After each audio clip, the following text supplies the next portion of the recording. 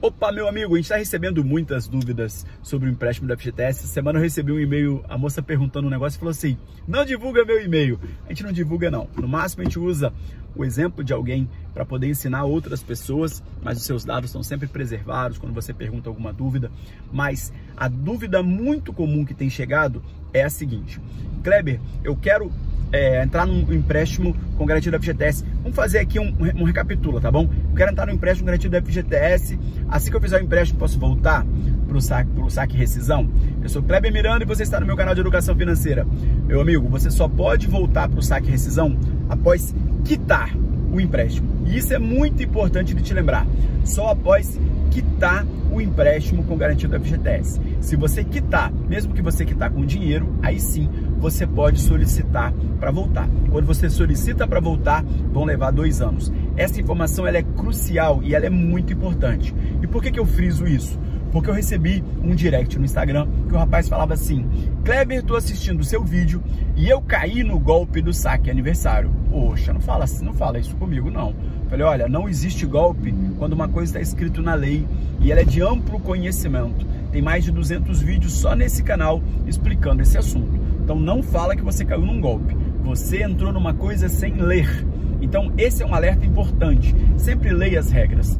Quando você entra no saque aniversário, o seu FGTS fica preso. Sendo demitido da empresa, você não saca o seu FGTS. E essa é uma outra pergunta que chega muito pra gente. Kleber, eu fui demitido, tem algum jeito? Não, não tem jeito. Não há nenhuma forma, nem entrando na justiça, porque é uma coisa que está prevista em lei e você entrou no saque aniversário de livre e espontânea vontade beleza? De livre espontânea vontade, sempre deixar isso muito claro. Quando a gente fala do empréstimo garantido do FGTS, da antecipação do saque aniversário, tem um link aqui embaixo que você consegue fazer do Banco Pan ou do Banco Safra e daqui uns dias vai vir novidades, inclusive, nesse link que você encontra no primeiro link aqui da descrição, beleza?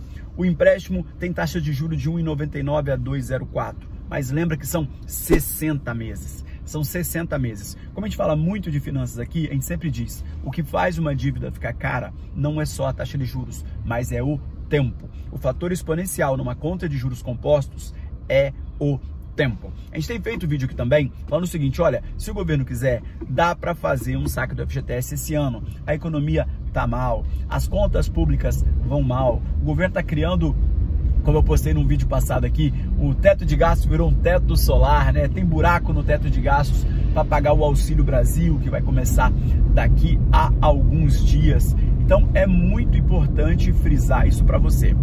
Uma seguidora que me segue há muito tempo perguntou assim: Kleber, se eu quitar, olha só que dúvida interessante, tá? Se eu quitar o empréstimo com dinheiro, porque a ideia dela é ir tirando dinheiro do FGTS, certo? Se eu pegar o dinheiro e quitar um empréstimo, era um empréstimo pequenininho que ela fez, eu consigo fazer um outro? Sim, sim. Assim que é, destrava tudo no sistema da Caixa, assim que destrava tudo, você tem saque aniversário pela frente. Sempre lembrar para você que o limite do empréstimo é sempre o quê? A sua parcela, a sua parcela de empréstimo, tá bom? Então é possível sim. Muita gente me pergunta isso. Eu estive na Caixa para buscar um documento meu. Já postei vídeo aqui que a gente quitou o apartamento que a gente mora. E eu estive na Caixa para poder pegar um termo de quitação que eu tenho que levar no cartório. vou fazer vídeo sobre isso. Que eu tenho que levar no cartório para desalienar o meu apartamento, tá? A minha casa. E eu aproveitei para perguntar para o gerente algumas coisas. Chegou um e-mail para mim recente, ontem de noite, mais uma pessoa dizendo que não consegue sacar a multa de 40%. E essa questão da multa, que também tem vídeo aqui, é um erro da Caixa. Por que, que é um erro? Porque não há nenhuma regra que impeça a pessoa de sacar o, o, os 40% porque está em empréstimo, porque está no saque aniversário, não tem nada a ver.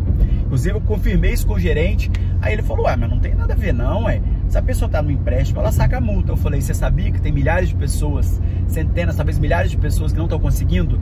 Aí ele, não, não sabia. Eu falei, você sabe a culpa de que que é? É que o atendimento da Caixa não é uniforme em todos os lugares. E esse relato de que não é uniforme, eu não estou tirando da minha cabeça, não. As pessoas me falam aqui que às vezes elas vão em outra agência e o atendimento é diferente. Então, a multa de 40% Não existe qualquer impedimento para você sacar. Se você que é meu seguidor, se você que é inscrito aqui, está com essa dificuldade, manda e-mail na ouvidoria da Caixa. Se você mora numa cidade grande, vá em outra agência. Se você mora numa cidade pequena que tem só uma agência, é um pouco mais difícil.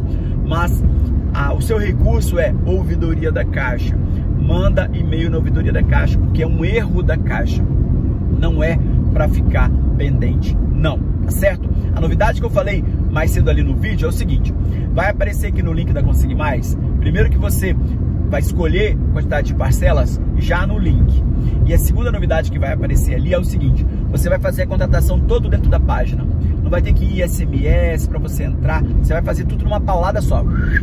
Vai facilitar a vida das pessoas, vai agilizar a vida das pessoas e acredito que muita gente vai ter um pouco mais de facilidade. Lembrar para você, se está fazendo um empréstimo com garantia do FGTS aqui no nosso link e está tendo alguma dificuldade ou alguma resposta que você não teve, você manda e-mail para suporte gmail.com que a gente ajuda você. A gente busca essa resposta e manda para você, como todo dia a gente recebe algumas centenas de pessoas fazendo essa pergunta. Beleza?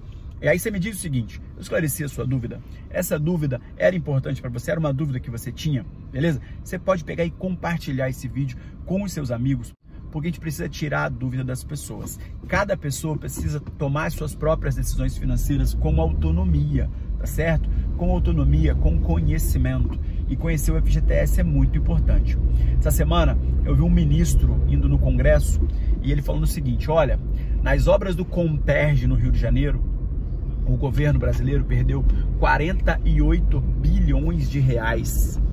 Sabe o que é o Comperge? Comperge é um, é um complexo petroquímico e eles ficavam enfiando dinheiro lá. Governos aí para trás, eles ficavam enfiando dinheiro lá e era dinheiro do FGTS. Era o FI FGTS. O presidente da Caixa falou várias vezes também sobre os prejuízos que deram à Caixa. Você sabia que um prejuízo desse tamanho daria para fazer um saque imenso do FGTS?